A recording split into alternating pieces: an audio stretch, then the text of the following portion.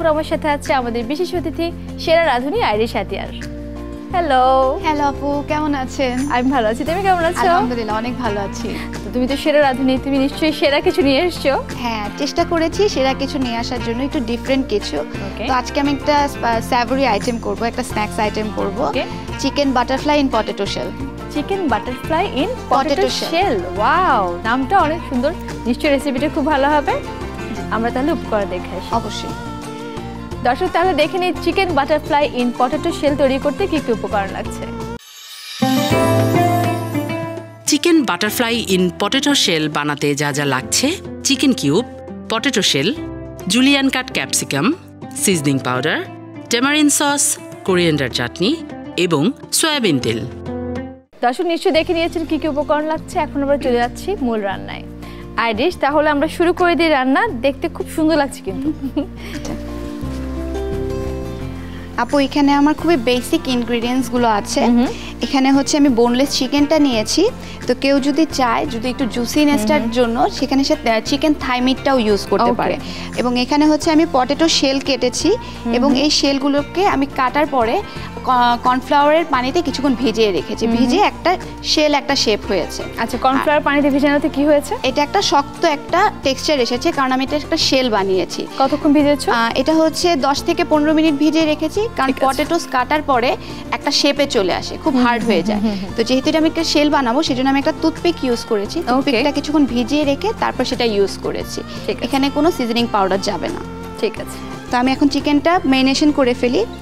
এখানে আমার সিজনিং পাউডারটা আছে। এখানে আছে গরম মশলা আছে বিভিন্ন রকমের স্পাইসেস আছে লবণ আছে এবং এখানে কোনো আমি আজিনো মটো ইউজ করিনি কারণ এটা আমাদের স্বাস্থ্যের জন্য খুবই খারাপ হবে। ঠিক আছে। তো এখানে আমি পর্যাপ্ত পরিমাণ দিয়ে নিচ্ছি।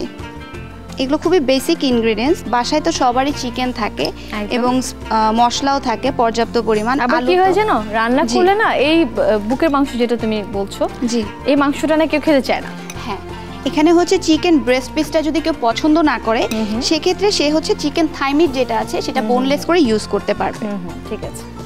তো আমি মেরিনেশন করব সির্ফ দশ মিনিট কারণ এখানে একদম শুধু ব্রেস্টের পিস যেটা আছে র মিট আছে তো বেশিক্ষণ মেরিনেশনের আমার প্রয়োজন নেই।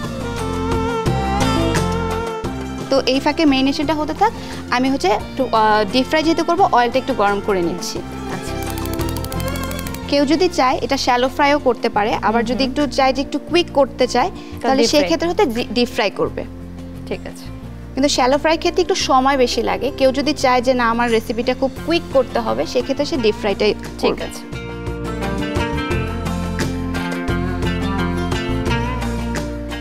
পটেটোস কাটার সাথে সাথেই কিন্তু একটা টেক্সচারে চলে আসে। যেহেতু সেটা হার্ড হয়ে যাবে এই জন্য হচ্ছে আমি দর্শকরা তাহলে একটা টিপস জেনে নিয়েছেন অলরেডি যে আমরা কর্নফ্লাওয়ার পানিতে যদি ভিজিয়ে রাখি এবং একটা শেপ দিতে চাই সেটা কিন্তু দেওয়া সম্ভব। এবং হচ্ছে পুরোটা যাতে এরকম পরিমাণে হয়। কারণ যদি আমি পাতলা করি সেক্ষেত্রে আলুটা ভেঙে যাবে। শেপটা দিতে আমার কষ্ট একটু ঠিক করে কাটতে হবে। একটু ঠিক মানে হচ্ছে ওয়ান এম এম এরও একটু কম। ঠিক আছে। কারণ পাতলা করে কাটলেই আমার পটেটোটা ভেঙে যাবে। আর দেখেন আমি যে ভিজিয়ে রেখেছিলাম শেপটা কিন্তু এখনও চেঞ্জ হয়নি। টুথপিকটা ইউজ করছি কারণ আমি চাচ্ছি যে জিনিসটা যাতে চিকেনটা যাতে এটার মধ্যে স্টিফ থাকে। ওকে খুবই কুইক ইনগ্রিডিয়েন্টস বাসায় যে কোনো সময় যে কেউ করতে পারে এবং আমার এই মিলটার ভিতরে আমার কার্বোহাইড্রেটও আছে পটেটোজে পর্যাপ্ত কার্বোহাইড্রেট থাকে প্রোটিনস আছে এবং আমি যেহেতু গার্নিশ যখন ইউজ করব সেখানে আমি কিছু ক্যাপসিকামস ইউজ করব। তো একটা মিলের ভিতরেই আপনি সব কিছুই পেয়ে যাচ্ছেন। ব্যালেন্সড একটা ডায়েট এবং হ্যাঁ। অনেক কালারফুল একটা অনেক কালার হবে। আমি জানি যে তোমার এই খাবারটার সাথে একটা খুব ভালো মেমোরিজ জড়িত আছে যদি তুমি হ্যাঁ। সেটা বলতে। মেমোরিজ বলতে হচ্ছে আমি যেহেতু একটা রিয়ালিটি শো থেকে এসেছি আমাদের রিয়ালিটি শোটা তিনটা ভাগে হয়েছিল লাস্টের ফিনালেটা তো একটা পার্ট ছিল হচ্ছে আমাদের যেখানে হচ্ছে একটা রিসোর্টে একটা হোটেলে আমাদেরকে সার্ভ করতে হয়েছিল। তো সেখানে হচ্ছে আমি এই খাবারটা বানিয়েছিলাম। তো আচ্ছা। সেই টাস্কে হচ্ছে আমি হাইস্ট স্কোরার হই এবং সেটার পরে আমি উইনার হয়ে যাই। এই ফুডটার সাথে আমার একটা অনেক ভালো একটা মেমোরি আছে। বুঝতে পারছি। জি। কমিয়ে দে যে একটু কমিয়ে দিতে থাকি। আপু আপনি এই মিটগুলো একটু ছেড়ে দিতে থাকেন আমি শেলগুলো রেডি করতে থাকি। ওকে এভাবে দিয়ে দেবো? হ্যাঁ এভাবে দিয়ে দেন।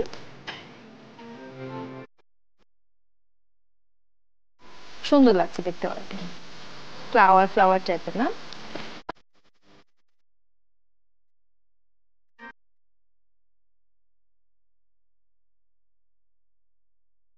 এটা ডিপ ফ্রাই হতে থাক আমি প্লেটিংটা একটু সাজিয়ে নিচ্ছি। ঠিক আছে। এটা তো আমরা আগে বানিয়ে রেখেও কিন্তু ইফতারের আগে ভাজতে পারি হ্যাঁ, ইফতারের আগে ভাজতে পারি। কেউ যদি চায় যে চিকেনটা যদি সে আগে থেকে মেরিনেশন করে বক্স করে রাখতে পারে সেটাও সে করতে পারে। এখানে আমি যেহেতু বলেছিলাম আমার ফুডটার ভিতর সব রকমের প্রোটিনস থাকবে একটা প্রপার মিল হবে তো সেক্ষেত্রে আমি যেহেতু বলেছিলাম ভেজিটেবলস থাকবে তো আমি অ্যাজ আ ভেজিটেবল হিসেবে এখানে ক্যাপসিকামটা নিয়েছি। ক্যাপসিকামটা তো আমি র খেতে পারি আমার সালাদে ইউজ একদম। তো আমি সেখানে ক্যাপসিকামের বদলে আমি এখানে চাইলে শসা কিংবা টমেটোজ ইউজ করতে পারি। কিংবা লেটুস পাতা যেটা আছে আইসবাগ যেটা আছে সেটা অনেক টেস্টি হয়ে থাকে। সেটা ইউজ করতে পারি। তপটা হয়ে গেছে আমি এখন চুলাটা অফ করে দিচ্ছি। ঠিক আছে। এবং আমি এটা নামিয়ে নিচ্ছি। নামানোর সময় একটু সাবধানতা দেখতে হবে কারণ যেহেতু এটা গরম তেল হুম হুম। ডেফিনেটলি তো সাবধানভাবে নামাতে হবে।